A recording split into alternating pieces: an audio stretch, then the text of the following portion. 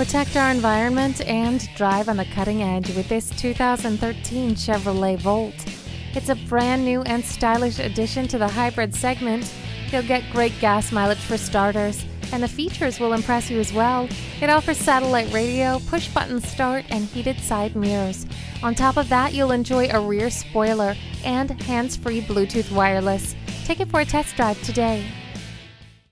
Stingray Chevrolet. We will absolutely change the way you think about car dealers.